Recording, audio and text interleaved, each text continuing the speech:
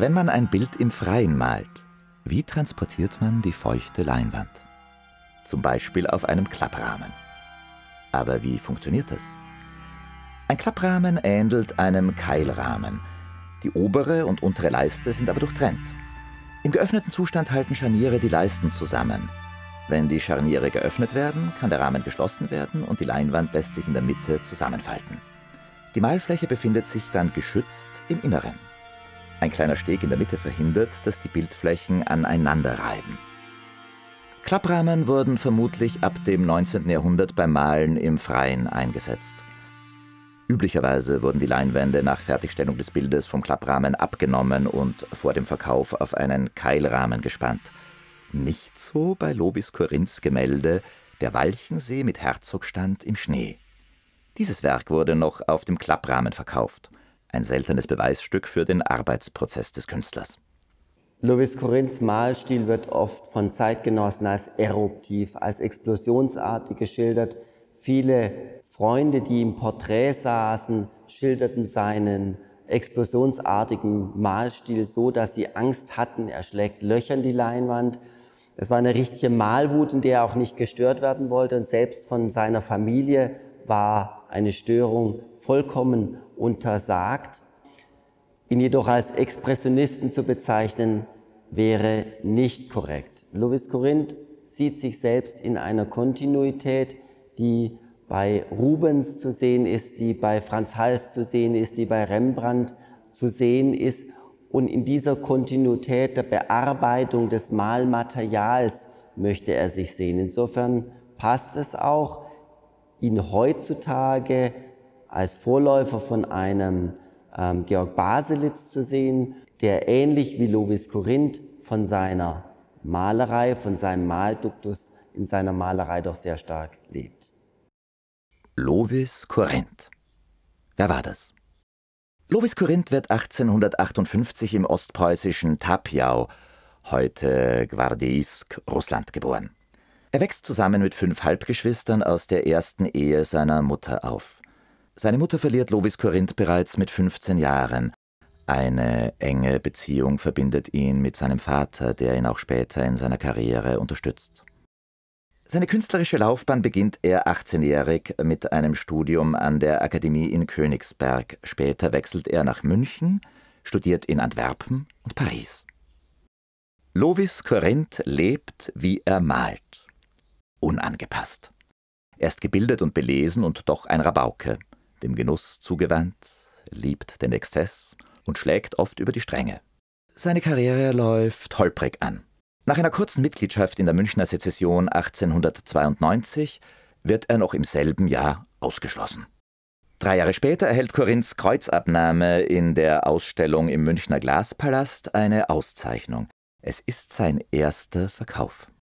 1900 stellt Korinth erstmals in der Galerie von Paul Cassirer aus, die ihn ab diesem Zeitpunkt vertritt und immer wieder zeigt. Korinth zieht endgültig nach Berlin und wird Mitglied der Berliner Sezession. Er eröffnet eine Malschule und heiratet später seine erste Schülerin Charlotte Behrendt. Hat sich Lovis Corinth in seinem Spätwerk vor allem mit den Landschaften auseinandergesetzt, mit dem Schwerpunkt der Walchenseelandschaften. So findet sich in seinem Gesamtwerk selbstverständlich wie bei vielen Malern das Porträt mit einer sehr starken Rolle innerhalb seines Gesamtwerkes. Darüber hinaus hat sich Louis Corinth aber auch mit seiner Zeit sehr kritisch auseinandergesetzt. Er hatte häufig Probleme mit der Zensur, auch und weil er sich explizit gegen die damalige Prüderie und Bigotterie der wilhelminischen Zeit gewendet hat. Es wurden Postkarten nach seinem Bild beschlagnahmt, es wurde eine ganze Grafik Serie von ihm beschlagnahmt. Insofern hat Lovis Corinth immer gerne provoziert. Das gilt natürlich nicht nur für die Aktmalerei, für die er bekannt und verrufen war, sondern das gilt auch für Themen, mit denen er sich intensiv beschäftigt hat.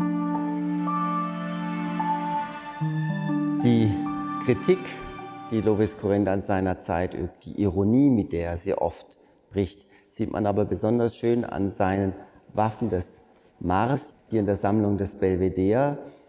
Und wenn man diese Waffen des Mars anschaut, so sind die Rüstungsteile des Kriegsgottes hier im ganzen Bild ähm, verteilt. Man sieht hier die Venus im Zentrum und darum Kinder, die mit diesen Waffen spielen und eventuell einen weiteren Liebhaber der Venus, wie Mars selbst, sieht er wohl eher nicht aus. Und es ist hier die Frage, wird hier mit den Waffen des Mars gekämpft oder gespielt? Oder sind es nicht vielmehr das Bild, die Thematik der Waffen der Frau? Was ganz sicher ist, ist, dass Lovis Corinth sich glänzend in der Kunstgeschichte auskannte, denn er bezieht hier eine bekannte antike Plastik, die der knienden Venus in sein Bild ein, die nicht nur in der Antike vielfach kopiert wurde, sondern die auch in jedem bildungsbürgerlichen Haushalt bekannt, eventuell sogar als Skulptur vorhanden war. Insofern nimmt er ganz stark auch das Bildungsbürgertum und sein Bildungsbewusstsein aufs Korn.